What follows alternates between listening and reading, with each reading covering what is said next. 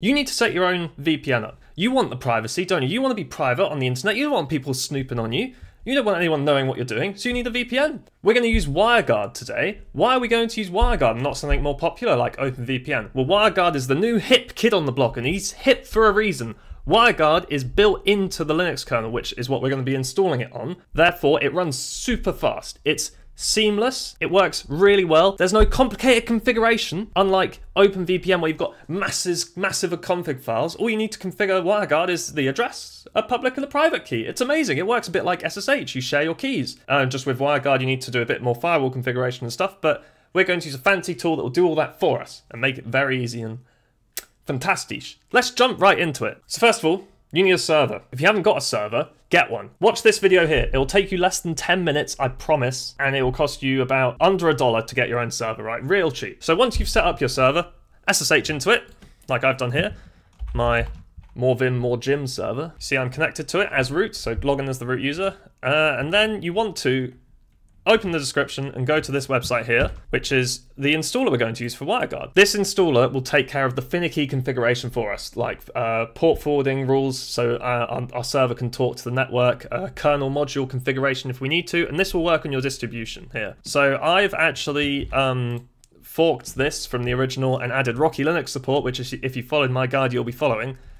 It already has Alma Linux support anyway, so Alma and Rocky are uh, the same. So I literally just added an if statement in there. Uh, I should fork it upstream, but use this one for now. But yeah, and on this web page, you'll want to click this wireguard install.sh file, uh, and then click raw like this. So we just want the script, okay?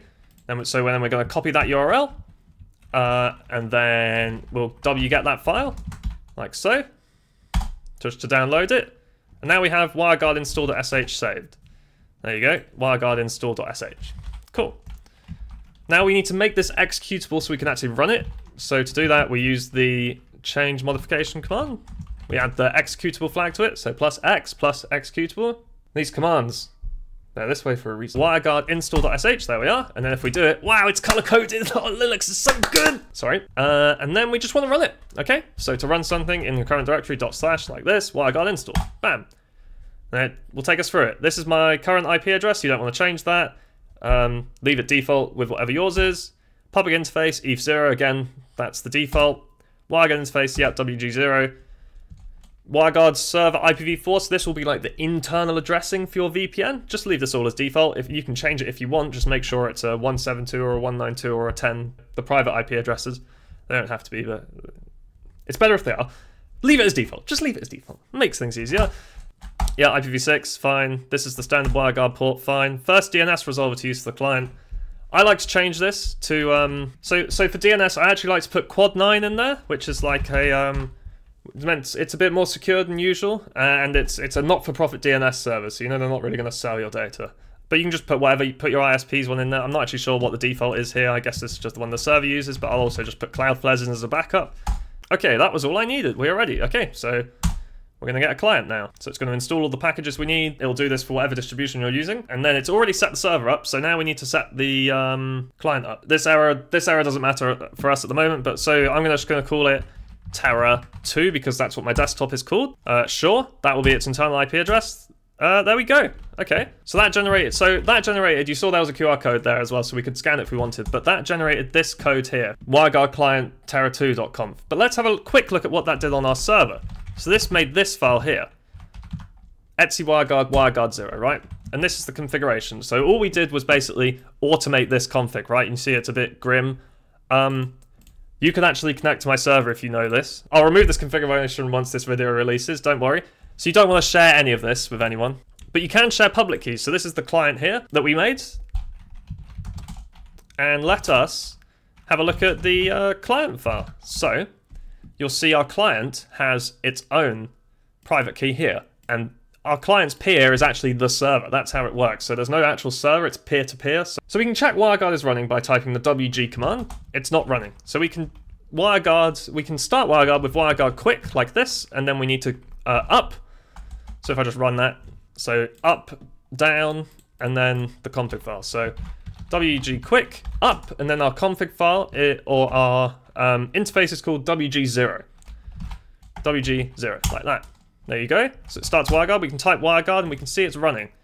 Um, if there's something connected here, it will tell us. So let us take this file. So if I get this, this is the config file for our client, copy it over to my client. So now I'm on my desktop, which is the client. Uh, you need to install some packages first. So I installed WireGuard on Fedora. I installed WireGuard tools. Um, just find a WireGuard client. Um, WireGuard tools is probably the package name for you, you as well. That will likely have created Etc WireGuard. If not, just create that directory. Uh, ignore those files in there. And then we want to put in our configuration. But we're going to call it WG0 because that's the interface we're going to use.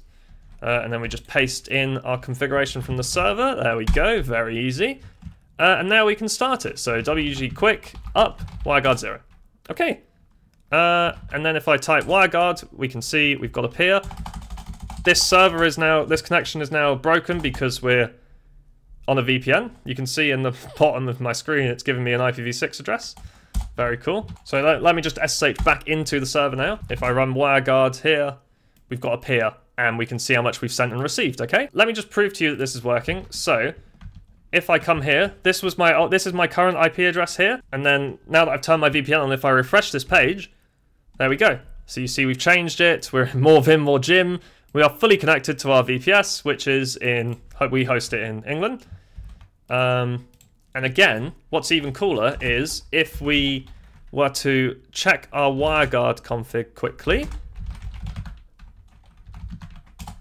and figure out our internal IP address. I didn't have to do that. So if we check our interface here, we've actually got one. So this is on our server, and you see it's got this public internal address. We can, from our desktop, this is the desktop, let me, there you go, color-coded. So from our desktop, we can ping this now, which is an internal address, remember? But what's even cooler is I can actually SSH to it as well. Um, yeah, so it's complaining because I've changed the IP address. Um, but so we now we're now connected, and look, we're connected from the internal address, not from the external address. So it's given us internal connections as well, so you can host things on that server. But, more to the point, we now have a VPN. Very, very easy. If I want to disconnect from the VPN, so let me just show you. So if I go WG, you see this is the amount of data we've sent, latest handshake, all that. Uh, so I can just go, you need to do sudo wireguard quick down the interface, WG0, like that. There we go.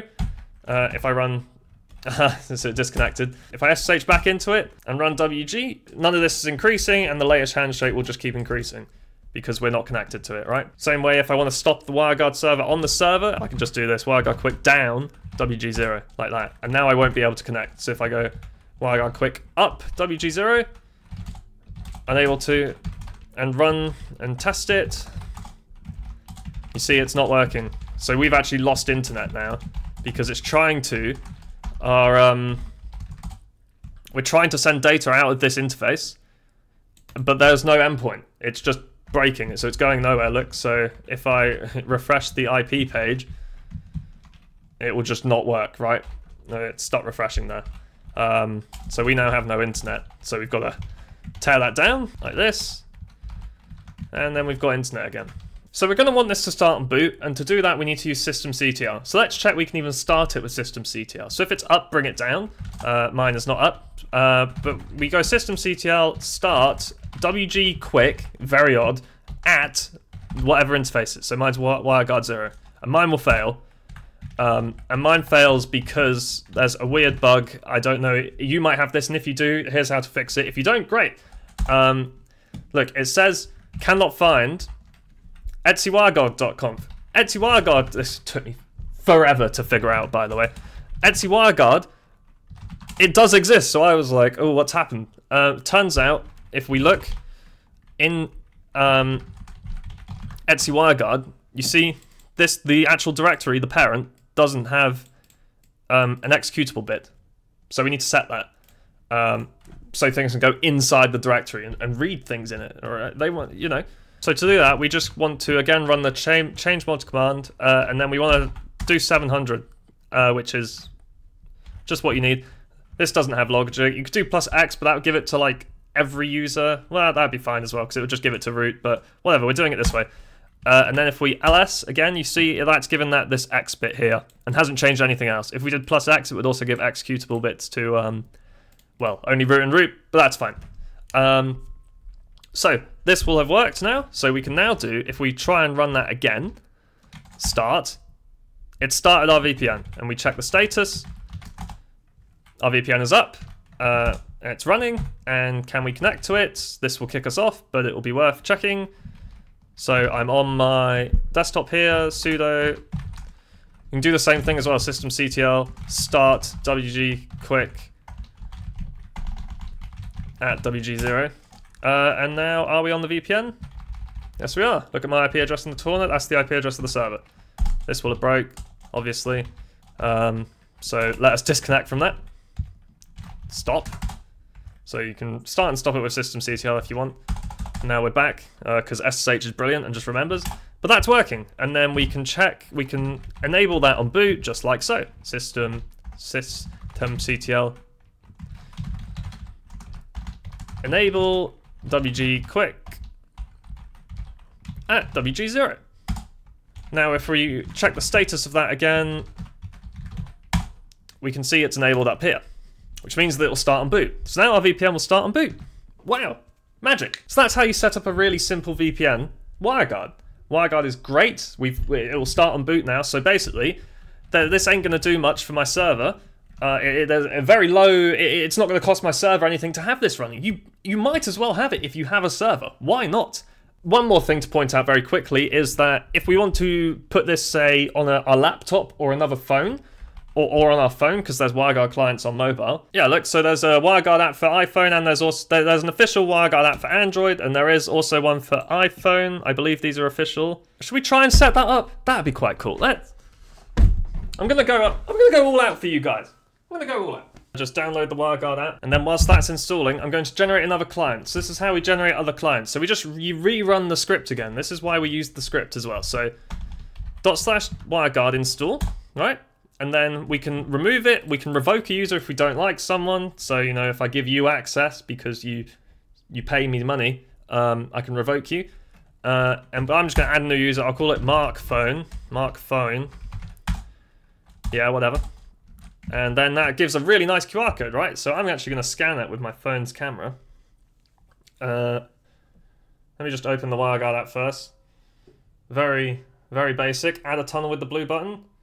Oh, look, there's a scan from QR code button. I'm going to click that. Scan from QR code. Right, it even gives you a nice little command there at the bottom of how to generate. But, so I'm going to scan this QR code. Oh, it, it's worked. Add a tunnel name. More Vim, more Jim. More money, more problems. More Vim, more Jim.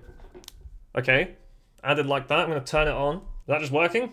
Has it worked? Am I sending data to it? Let's check. WG. It's this one. It's this one at the top here. We are sending. It just worked. Magic. Okay. Let me check my IP on my phone. Look at that. Look at that. Wonderful. That's instantly worked. That's really cool. I'm amazed at how easy that was, okay? So there you go. That's how to set up WireGuard. Really quick and easy. Even works on your phone. Multiple laptops. You use this simple script here. Uh, it starts on boot and just set it and forget it, right? There you go. That's how to set up WireGuard. Like, comment, and subscribe to help the algorithm, yo. Or I'll sniff your VPN traffic.